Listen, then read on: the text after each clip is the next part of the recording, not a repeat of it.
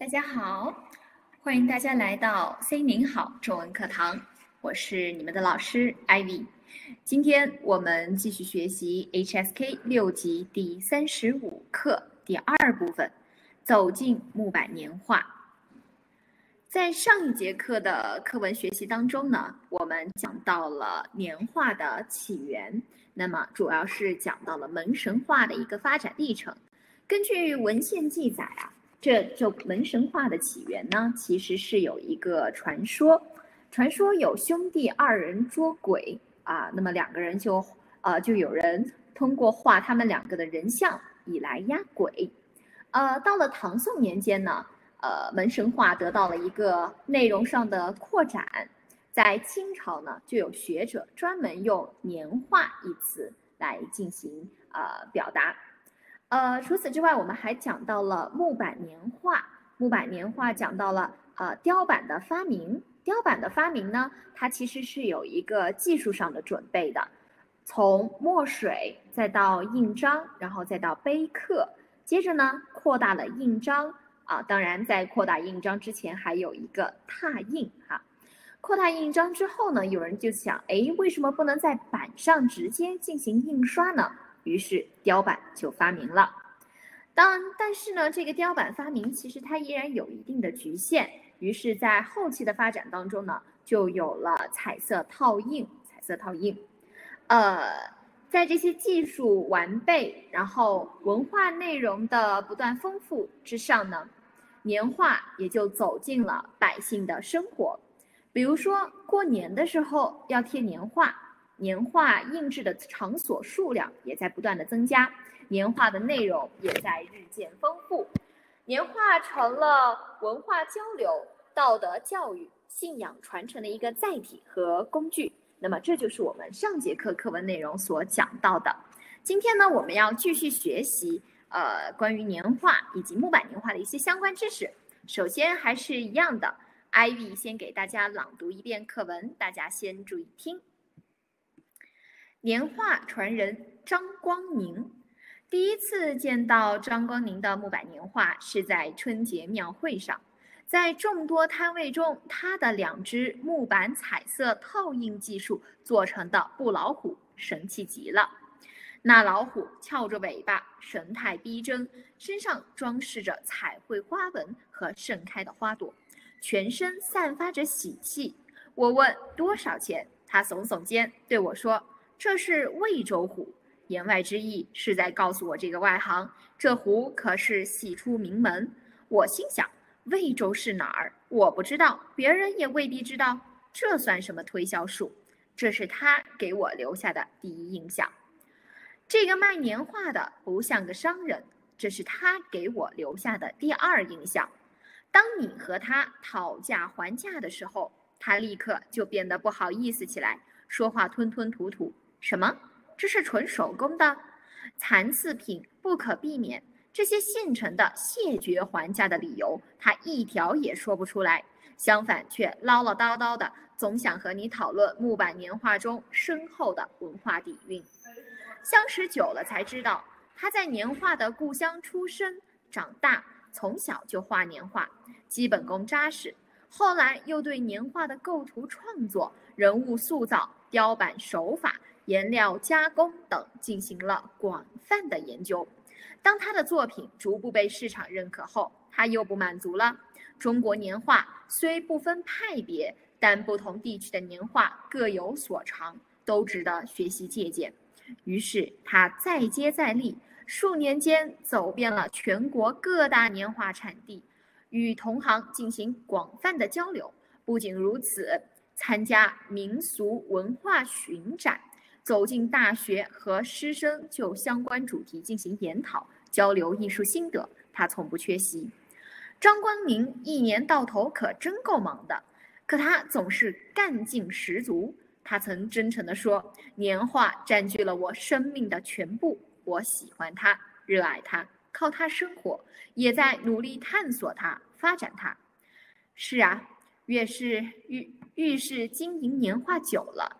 他对年画就愈是热爱，他已确立了自己的目标，传播他喜爱的这一民俗文化。他的信念就是拓展年画的内容，使其雅俗共赏，为更多的民众所喜爱。虽然任重道远，也不会一帆风顺，但他一定会坚持下去。好的，那么这就是我们今天的课文内容。首先，我们先来看生词。那么接上一节课的生词，我们继续来看第二十四个“神气”。神气，神气呢是一个形容词。课文当中是这样说的：它的两只木板彩色套印技术做成的布老虎，神气极了哈，神气极了。好，第二十五个“翘”，翘，那么这是一个动词，动词，比如说啊，那虎。翘着尾巴，翘着尾巴。神态，这是第二十六个神态哈，神态，那么也是一个名词，名词，神态逼真啊，神态逼真。那么神态它不仅仅是指啊一个人的面部表情，比如说微笑啊等等，这些是面部表情，它还有着呃更多的包括神这个词啊，其实还强调一个人的怎么说呢？精气神哈，精气神。好，第二十七个盛开，盛开啊，注意是后鼻音，盛开，这是一个动词，动词，比如说盛开的花朵，盛开的花朵。那么在文章这里，盛开的花朵是这个动词呢，呃，充当定语来修饰花朵。我们也会说，哎，这个花盛开啊，花朵盛开等等。二十八，散发。散发，那么这是一个动词，动词，比如说散发着喜气啊，散发着喜气，呃，散发着香气哈，香气等等。好，散发，这是散发。那么第二十九个耸啊，耸，这是一个动词。那么具体来说，比如说这样耸肩哈，耸肩，他耸耸肩，耸肩啊。好，第三十个。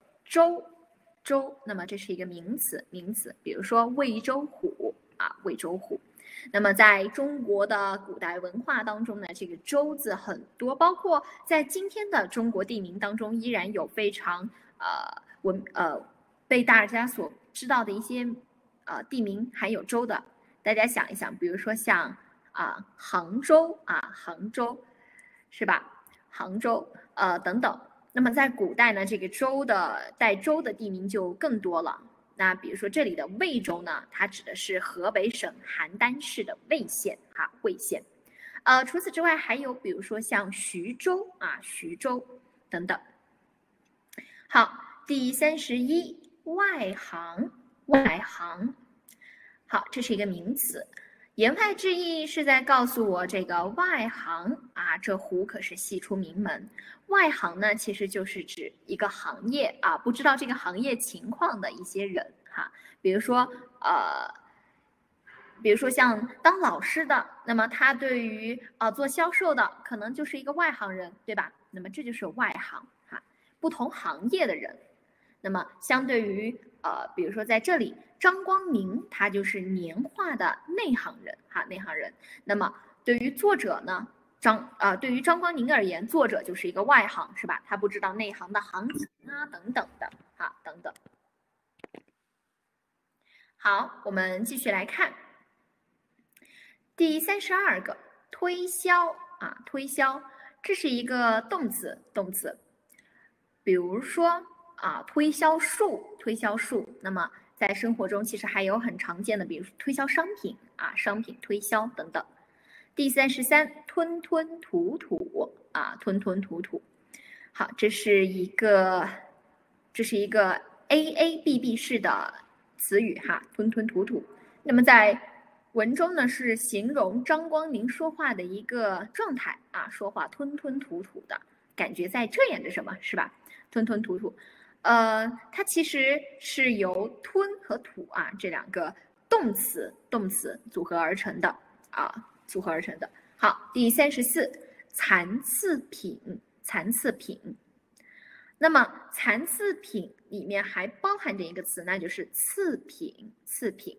好，在这里呢，它有一个英文的注释，大家如果不清楚的话，可以看一下英文上它们的一个呃差异。由此来理解一下这两个词语。文中呢是残次品不可避免，不可避免。残啊，注意残，其实它是残缺、不完整的意思。它不仅仅是次品，那么它比次品还有一个呃不足之处呢，就是它是残缺的哈，残缺的。那么这一点呢，在一般的手工艺品上面是非常常见的，非常常见。那呃，手工艺品呢，它其实它的成功率不是非常高，尤其是比如说像年画啊。年画还有，呃，糖人儿啊这一类，呃，手工艺品等等，就很容易，呃，生成残次品。那么次品呢，又是相对于成品或者说达标的产品而言的。那么它的质量上不过关，但它其实是完整的。那么这几个概念大家可以区别一下。好，第三十五个，现成啊，现成，这是一个形容词。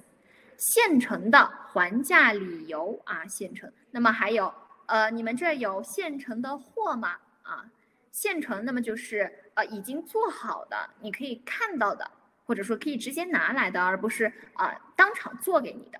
那么这就是现成的。好，第三十六，谢绝啊，谢绝。好，谢绝还价啊，谢绝还价。那么这里它有一个谢字。那么谢绝，它的意思其实就是你去拒绝别人，但是为什么会有一个谢呢？其实它是非常委婉的哈，委婉的去拒绝，所以说是谢绝。那么呃，在商人当中呢，有一些时候会说，哎，谢绝还价啊，谢绝还价，呃等等。大家其实，在拒绝别人的时候，不妨也可以用一用谢绝这个词哈，谢绝这个词会显得比较的委婉，比拒绝要委婉很多。好，我们继续来看第呃三十七故乡，故乡。那么这是一个名词，名词。他在年画的故乡出生啊，故乡。那么它指的就是一个人从小出生长大的这样一个地方。呃，其实中国人呢，在骨子里面其实对故乡是有很强的。呃，乡情可以这样说，或者说依恋之情。所以，呃，一旦各位小伙伴如果对呃中国古典文学作品，包括现代的文学作品，呃有所了解的话，其实可以发现故乡这个主题在呃创作文学当中呢是非常常见的，而且呢都有很精彩的作品。包括呃在中国人的生活当中，其实故乡的这种依恋之情也是在。呃，生活中很常见的，那比如说我们过年啊，要回要回家过年啊，那这其实也是一种对故乡的这样一种依恋之情。嗯，当然在这里呢，张光明他是在年画的故乡出生，其实也就是我们说的一方水土养育一方人哈，一方水土养育一方人。那么当地的那种文化气氛很浓厚，有这样一种传统习俗，对于一个人就会有一个长期熏陶的这样一个过程。好，第三十八个，扎实，扎实，好好注意哈，这个实呢，它要轻读啊，轻读，扎实，它同样也是一个形容词，形容词，比如说基本功扎实哈，基本功扎实，那么我们同样也可以说扎实的基本功，扎实的基本功，呃，在这里呢，补充一下语法。啊，基本功扎实，它是一个主谓短语结构。但是如果我们说扎实的基本功，那就是一个偏正结构了哈。那么在这里语言学习的过程当中，尤其是汉语，大家一定要注意语呃语序哈语序。好，第三十九，塑造塑造，那么这是一个动词动词，人物塑造哈人物塑造。好，第四十，手法。手法，那么这也是一个名词，雕版手法啊，雕版手法。那么前面我们讲过一些关于文学领域的专有词汇，我们还讲到了写作手法哈，写作手法等等。好，第四十一派别，派别，那么这也是一个名词，名词。比如说，呃，中国年画虽不分派别，但不同地区的年画各有所长。那么这里的派别呢？呃，我们可以比如说，我们拿中国的京剧来举例吧。那么京剧属于属于中国戏剧当中的一个派别。除了京剧之外呢，还有一些地方戏，比如说像黄梅戏啊、豫剧等等。还有越剧。那么这些又属于不同的派别，其实它相当于一个呃种类，但是这种种类它又有一个自己独独特的一个体系哈体系。那么这就是派别的一个含义。好，第四十二个借鉴，借鉴这是一个动词，动词，呃，学习借鉴啊，学习借鉴。那么还有借鉴经验等等。第四十三个再接再厉，再接再厉。哈它再接再厉，那么我们往往用到这个成语，这已经是个成语了哈。这个成语我们往往是说，比如说一个人啊，大家去参加汉语考试，或者说在汉语的表达当中表现非常出色。那么为了鼓励大家，同时呢又不让大家感到骄傲，老师们往往会说啊，再接再厉，再接再厉。那么这里的意思就是说，第一呢，他肯定了你取得的这样一个优异的成绩啊。你的表现很出色，但是另外一个呢，他也在提醒啊，一定要再再再再是什么？第二次、多次，对吧？那么提醒你还要继续努力，这就是再接再厉的一个含义。在文中呢，它主要是指呃张光明他在年画的学习当中怎么样，不断的努力，不断的继续努力哈，然后呢，呃，不断的与那些年画同行进行交流学习等等。好，那么四十四心得，心得交流艺术心得哈，心得我们往往还会说心得体会等等。第四十五缺席，它从不缺席，缺席呢，它是一个动词啊，动词。好，第四十六干劲，干劲哈，注意都是前鼻音，干劲，这是一个名词，名词，干劲十足，干劲十足。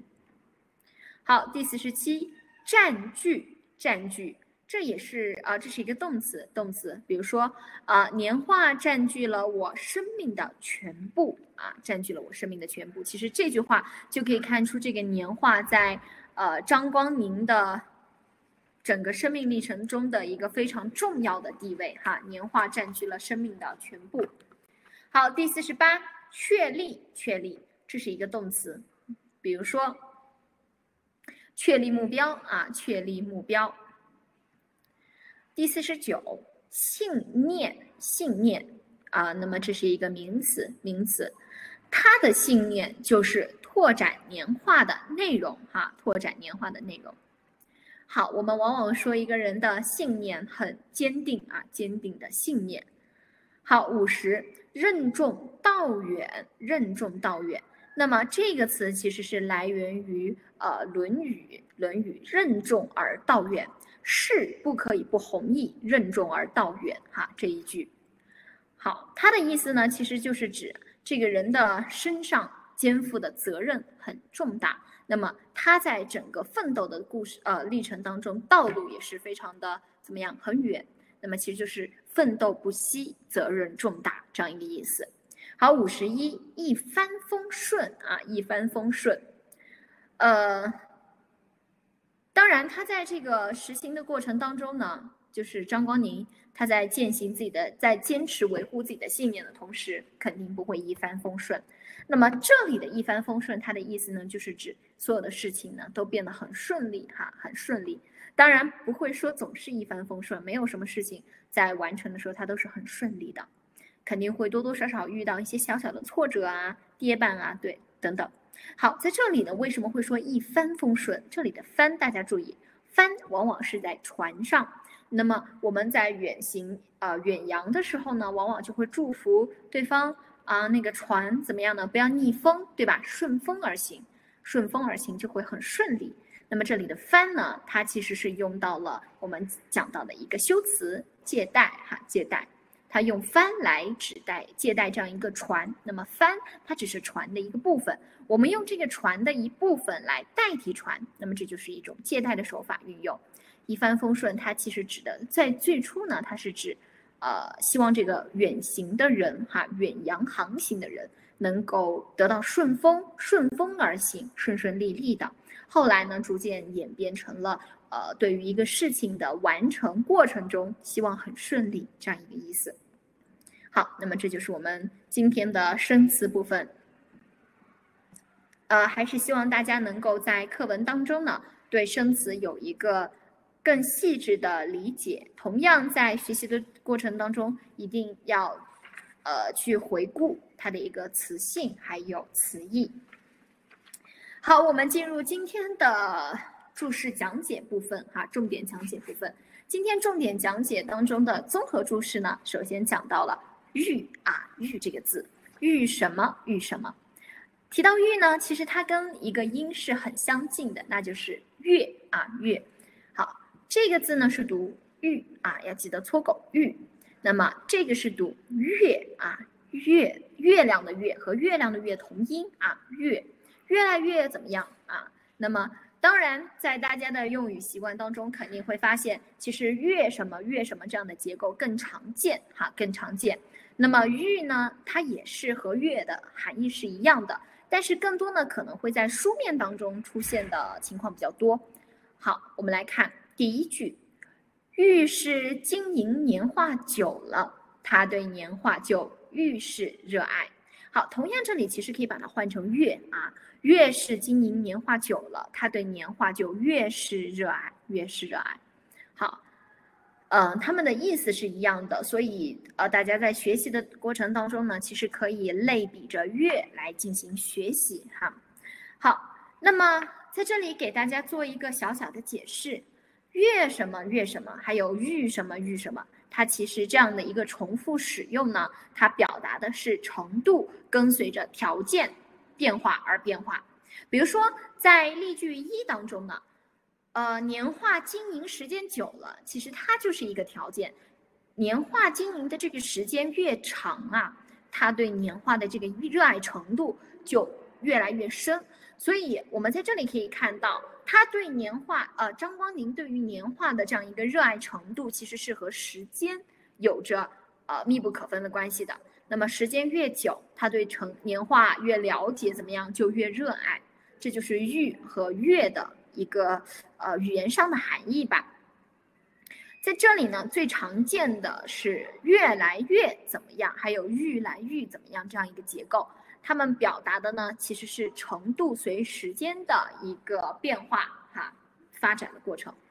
比如说，呃，你越来越好看啊，越来越好看。那么它其实就是在你变好看这样一个过程，它有一个时间过程哈，时间过程。好，我们再来看第二句，机遇的特点之一是转瞬即逝，市场竞争愈激烈，愈是如此。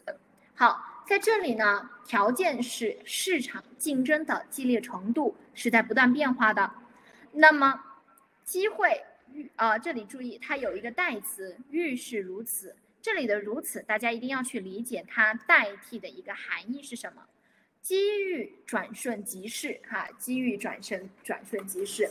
所以在这里呢，条件的变化是啊，市场竞争的这样一个激烈程度越激烈，那么条机会就越来越怎么样，容易转瞬即逝。这里它表达的也是一个随着条件变化而变化的这样一个含义，哈。好，第三一题，第三一句。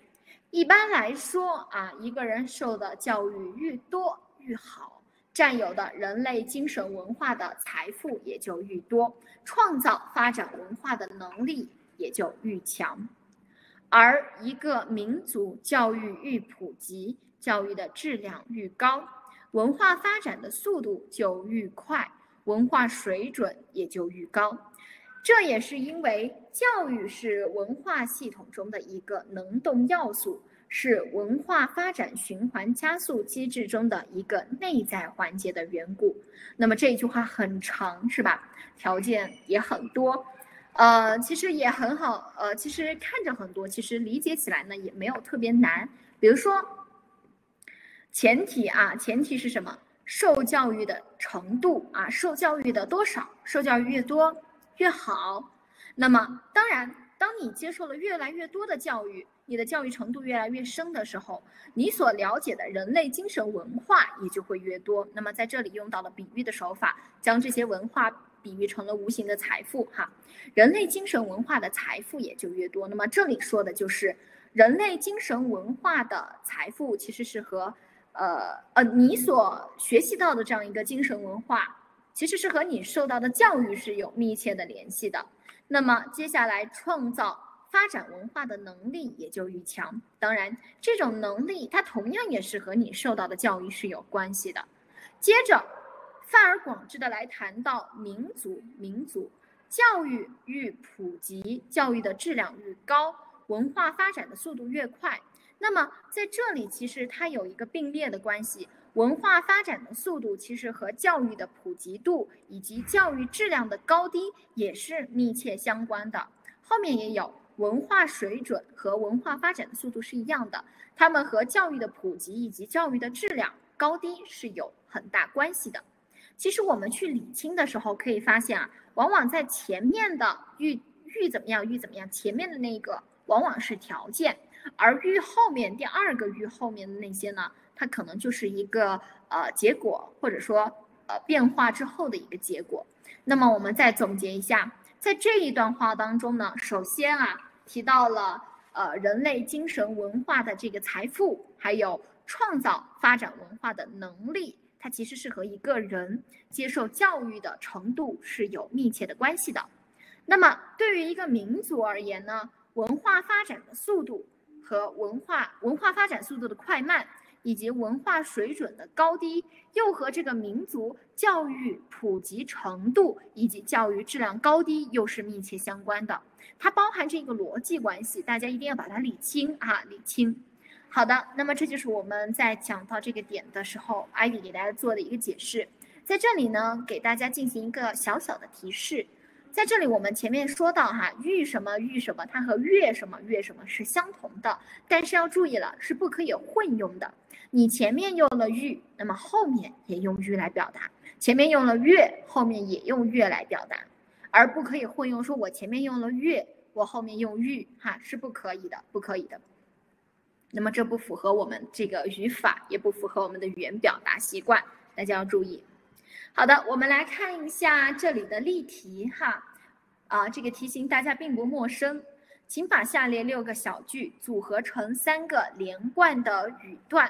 连贯的语段，呃，很简单，但是里面包含了很多语。我希望大家在完成这个小题之后呢，能够对其中的逻辑关系有一个呃有一个分析哈，有一个分析。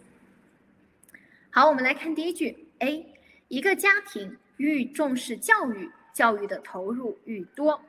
B，市场经济是法治经济，愈是发达的市场经济。C，经营活动。遇事会受到完备的法规约束，从而在法治的框架内展开充分的公平竞争。D，他深就一副挑战式性格，遇事面对成功。E，家庭成员的文化水平就愈高，综合素质也就愈高。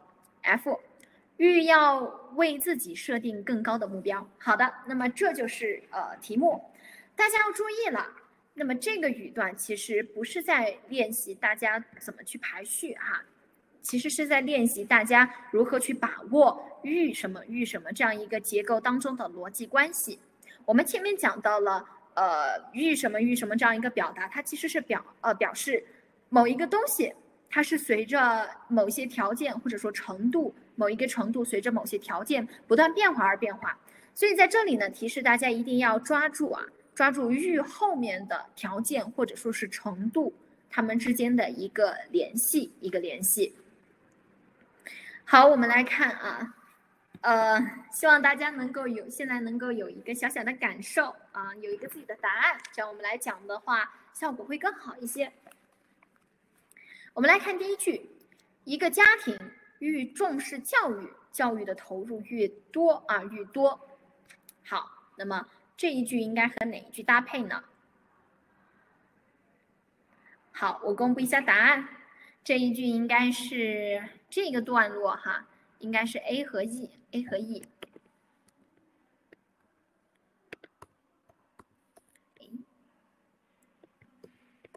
我这个吧。好，A 和 E 哈。为什么是 A 和 E 呢？呃，当然，我们从前面讲到的语义之间的联系也是可以来进行呃理解的。但是今天呢，我们就用“育”这个结构去理解吧。在这里，首先我们要明确 A 和 E 它其实是在讲什么呢？它的主题啊是在讲家庭教育，对吧？家庭教育。那么家庭教育当中，A 讲到了重视教育，教育的投入愈多，那么这是一个条件。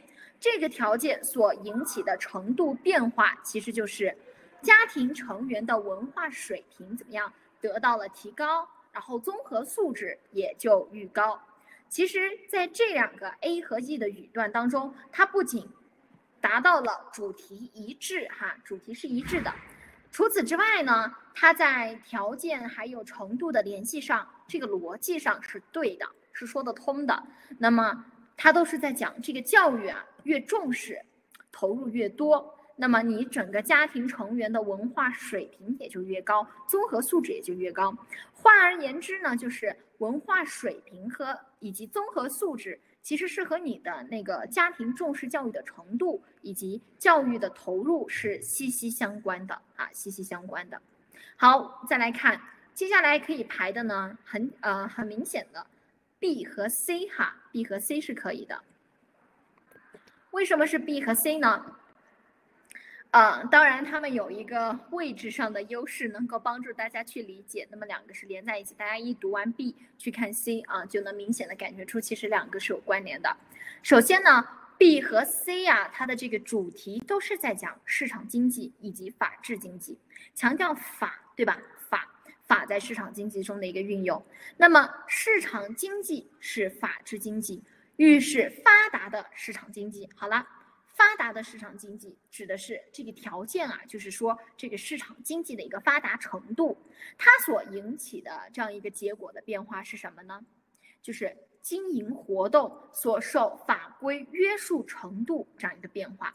那么越发达的经济市场经济，它的经营活动就越规范哈，越规范。那么这个逻辑一推出来，哎，就印证了 B 和 C 是。可以说得通的，可以说得通的。好了，接下来的那就是呃什么呢？D 和 F 了，对吧？D 和 F。好，D 和 F 呢，它其实都是在讲一个人，这个人是谁我不知道，我们不知道，但我们知道这个代词他啊，他，他深就一副挑战式的性格，遇事面对成功，欲要为自己设定更高的目标，是吧？那么。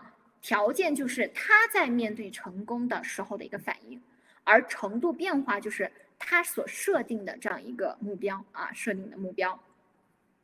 那么越越越是在成功的面前，他对自己的要求就越严格哈，越富有挑战性。这就是啊，他这个挑战性或者说他的一个能力提升与他面对成功这样一个情状的一个联系。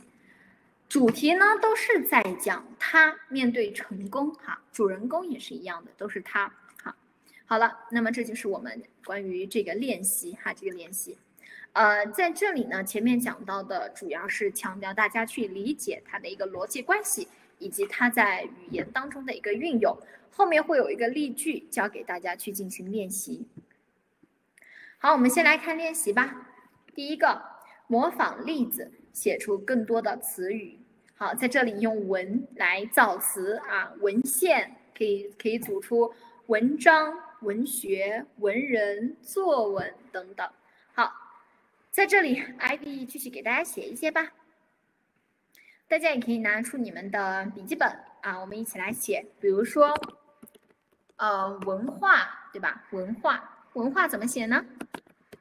文化，哈，还有。我们每天交流可能都会需要用到文字啊，文字。当我们去形容一个人的文章写的怎么样，我们会用这个词“文笔”啊，文笔出色，文采奕奕。好啦，下一个词又出现了“文采”，那么指的就是一个文章的艺术性哈，艺术性以及作者、作家在表达的时候一个能力的体现，这就是文采，文采。好。接下来增添啊，用增来造词，增，增来增的词呢，其实很多啊，比如说呃增加，对吧？那还有呃增高啊，增高，呃还有增进。我们在新闻当中常常说增进两国的交流啊，增增进两国的情谊啊，情谊。嗯，除此之外还有增强啊，增强，还有呢，增设啊，增设。现在很多的呃国外的大学啊，中国以外的大学呢，都增设了呃汉语这门课程，汉语这门课程。好的，还有增速，增速这个词呢，可能在经济当中会比较常用，比如说一个国家啊 GDP 的一个增速情况啊，增速。好了，那么还有。发财用财来组词，那么大家能理解财吗？财当然和财富相关，所以首先一个词是财富。好的，除此之外呢，还有我们常常会说到财产啊，财产。那么其实这个呃法律当中用的更多一些，财产分割啊之类的。还有呢，比如说财务啊，财务。好，我们刚刚又打出了一个词，这个财务，这两个财务有什么不同？大家看第一个财务啊，第一个财务。第一个财务呢，它是指物品的物，那么肯定它就是指物体啊，物体。第二个物呢是事物的物，它指的呢事情啊，事情。呃，第一个财物，它指的是比如说像你的钱包啊、手机啊等等这一类，就称之为财物。那么第二个财务呢，比如说啊，会计在做账的时候。尤其是在金融领域啊，财务、财务处理啊、财报啊等等，这些就属于财务哈，财务，呃，它们音是一样的，但是字不一样，一字之差啊，这个含义就相差甚远了哈，相差甚远。然后除此之外呢，还有呃，比如说像在金融领域吧，还有一个比如说财经啊，财经，哦，这个是好用黑色的。财经，好，这是财。好，再来看这个是读外行啊，外行。记不得的小伙伴要下去复习啦。外行，好，这里的行呢，其实是一个多音字。我们往往还有啊，还会说什么呢？还会把它读行，对吧？行走，行走。当我们去呃去读行的时候呢，它更多的是在强调动作，动作。当我们读行的时候呢？它是一个名词，往往是指行业啊，行业与之相关的一些词语就可以展开了。比如说像行情啊，行情，那么呃，行当啊，行当，它是行业一种比较通俗的说法。比如说你是做什么行业的，那我也可以说你是做什么行当的啊，行当，它比较偏口语化。呃，除此之外还有行家啊，行家，那么就相当于你很懂这方面，比如说，呃，你热爱汉语啊，或者说你热爱收藏吧，用收藏来说。那么，当你去鉴赏一个藏品的时候，哎，就有人会说，您您是个行家啊，行家，那么其实就是指您懂行哈，懂行，你懂这一行。好，那么在这里说到这是外行，外行就是这个行业之外。那么还有行业之内啊，就是内行哈，内行。好了，继续来看故乡啊，用乡来造词，乡来造词。呃，乡呢很多啊，很多，不仅词很多，呃，相关的句子还有诗句也很多。首先我们来看，呃，乡愁吧，乡愁，这是中国近几年在农村建设当中经常提到的乡愁建设啊，乡愁。还有一个乡村啊，乡村，还有呢啊，乡镇，这是一个地方行政划分的一个词，乡镇。还有比如说乡亲，乡亲们，乡亲哈，乡亲，它指的是你呃，是比如说你所在的那个地方的呃邻居吧，可以这样说，邻居或者说当地人哈，乡亲，乡亲。还有呢，乡下啊，乡下。等等这些词，好了，那这是这就是组词的部分了。组词的部分，好，我们来看一下，用所给词或结构改写句子。改写句子，呃，第一句我来讲第一句吧。第二句其实挺简单的，看到月什么月什么，就知道它和玉什么玉什么是一样的，把月那里换掉玉玉就可以了。读音上有一点差异，大家要注意听哈，注意听月。越来越，愈，愈来愈哈，注意，当我读愈的时候呢，这个搓口会比较的明显，愈。那么读越的时候呢，它有一个变化的过程，越啊越。我们来看第一句，由于此地涉及国家机密，所以不允许参观。那么谢绝，我们先来回顾，谢绝它是一个动词，动词。那么谢绝有一个绝，它其实就是从语速上判断，它其实和拒绝是相关的，它只是比拒绝更委婉的去表达，更委婉的去表达。那么谢绝它其实是一个婉词啊，婉词上的拒绝，婉辞很委婉的将对方拒绝。所以在这里我们找到有关于拒绝这样一个含义。由于此地涉及国家机密，所以所以怎么样呢？谢绝参观，哈，谢绝参观。好，我在这里写一下谢绝参观。好，谢绝参观这个词也很很多啊，比如说，呃，当你去到一个一个地方啊，你想进去看一下，结果发现人家在门口挂了一个牌子，上面写着谢绝参观，那么。肯定要很知趣的离开了，对吧？因为你根本进不去啊，看不了，谢绝参观。好，第二个例句大家下去完成哈。好，我们来看一下第三题，选择合适的词语填空。呃，合适的这个词语，我们先来复习一下，先来复习一下。首先，神态，神态，我们刚刚前面讲到了，神态是一个名词啊，名词。它指的呢是一个人的神情态度，哈，神情态度，它不仅仅是指他的一个面部表情啊，不仅仅是面部表情，它还有一个人的精气神在里面。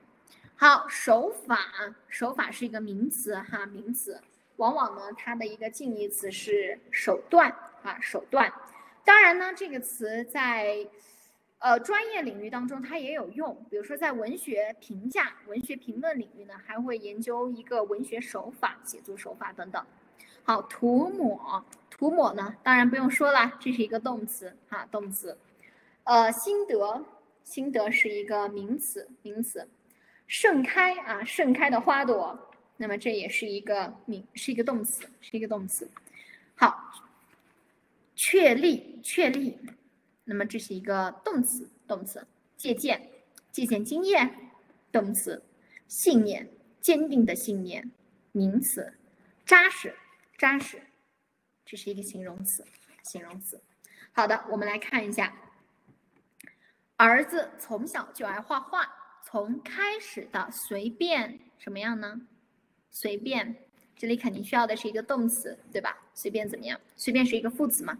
副词肯定是要修饰动词的，那么动词在第一个语段当中所给的动词呢，它有，呃，涂抹，还有盛开啊，盛开肯定不会了，不会是盛开了，盛开它指的是花朵嘛，对吧？所以这里呢，很明显它就应该填的是涂抹哈，随便涂抹。现在能画出什么什么逼真啊，逼真。我先公布答案，神态逼真。那么他去抹抹抹临摹那些小动物哈，那么画出来呢，神态逼真的意思就是很像啊，神情啊，动作啊，很像真实的动物，这就叫神态逼真啊，神态逼真。好了，啊，是逼真的，到现在能画出神态逼真的动物还有什么呢？这里当然不用说，课文当中就这样讲的，盛开的花朵，对吧？盛开的花朵。好，还有怎么样呢？手法哈，手法越来越娴熟，绘画手法越来越娴熟。一路走来，经历了许多艰辛，也收获了许多幸福。他愿意与大家一起分享画画的什么呢？分享心得嘛，对吧？心得体会。心得体会啊，愿意与大家一起分享画画的心得。好的，那么这就是这个语段。呃，我没有做过多的分析啊，因为我们在分析完这个词语之后，它的一个词性，呃，大家可以根据呃语法去进行判断。我们来看第二段，想要成就一番事业，无论选择哪条路都不会怎么样呢？一番。风顺哈，一帆风顺，都不会顺很顺利啊，都不会很顺利，一定是要遭遇一些挫折的哈，挫折。首先呢，要怎么样？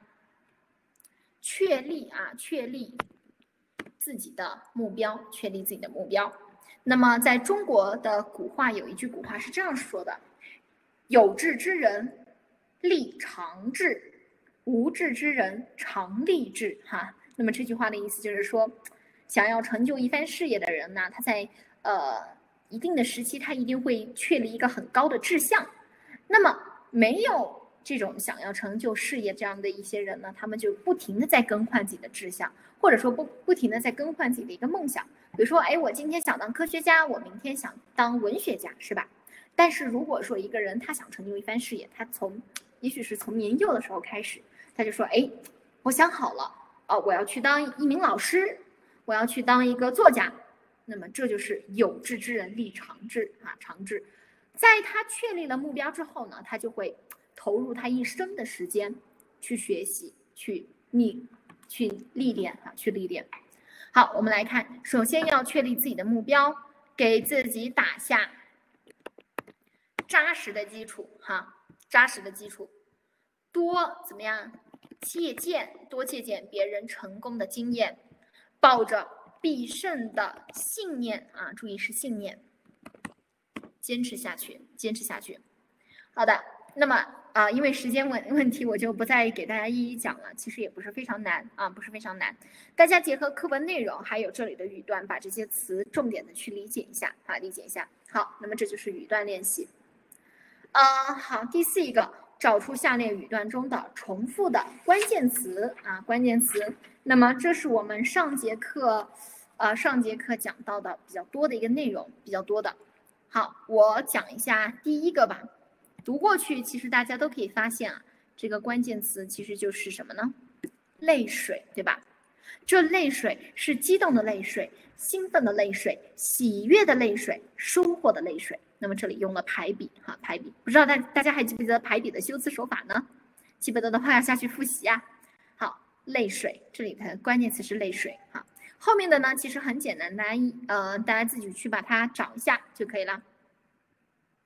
好，我们继续来看啊。好，我们进入课文总结。今天的课文呢，主要是讲到了一个主人公啊，张光宁。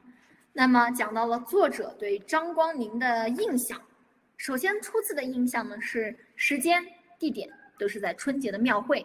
嗯，当时呢，张光宁做了一个布老虎啊，也没有进行推销，但是他说了，这是魏州虎。魏州虎，一听就是讲给那些外行人听的，是吧？魏州虎。好，那么作者对他有了一个第二次的这样一个印象，第二印象，觉得他不像个商人啊，不会去讨价还价之类的，但是他更多的会带领你去讨论年画背后的这样一个文化底蕴。那么和张光宁相识久了，那么这种了解就越来越深刻了，了解到他的创作背景啊，他做年画的这样一个背景，还有他对于年画的这样一种热爱哈，热爱。呃，再接着呢，就讲到了张光宁的这样一个目标和信念，他要传播年画这样一种文化，并且不断拓展年画的这样一个内容。好的，那么这就是我们今天的一个课文内容。课文内容呢，主要是在讲一个人哈，讲这个年画传人的一个传奇经历。嗯，大家下去呢，可以再多读一下课文。我们来讲一下这个扩展吧，语速一哈，语速一，这是我们经常在谈的。嗯，在这里呢，我们先读吧，读一下，回收，回收，开除，开除，请示，请示，玩弄，玩弄，瞻仰，瞻仰，落成，落成，开采。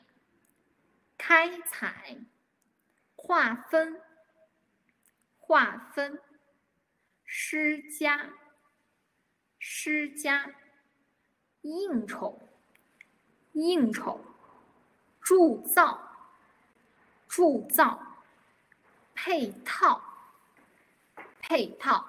好的，那么这就是今天要做的一个扩展上的词语。我们来讲一下。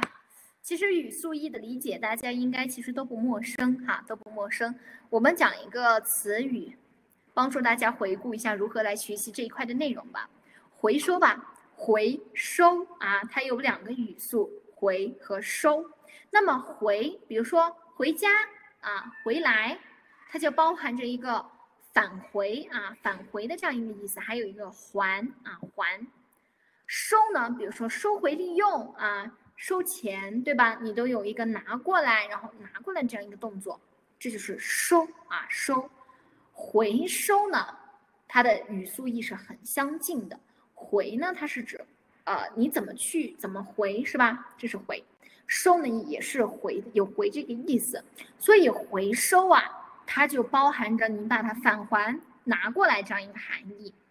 比如说回收废品，回收废品，回收呃垃圾，回收垃圾，垃圾回收等等。那么这就是这样一个意思。好，在这里呢，其实是。抛砖引玉啊，抛砖引玉，举一反三，大家一定要学会举一反三。呃，我就讲这一个词语的如何去学习，帮助大家复习呃学习的一个步骤。呃，下面的词语呢，就靠大家自己下去完成。嗯，当你理解了这个语速一之后还不够，一定要学会用，怎么去用呢？多造句哈，多造句。好的，那么这就是我们今天课文的全部内容，全部内容。希望大家下去呢，把刚刚没有讲完的例句完成，然后呢，嗯，自己学完，扩展这一部分语速义的内容，然后自己下去造一下句。好，这就是我们今天的课文，我们下一次课再见，拜拜。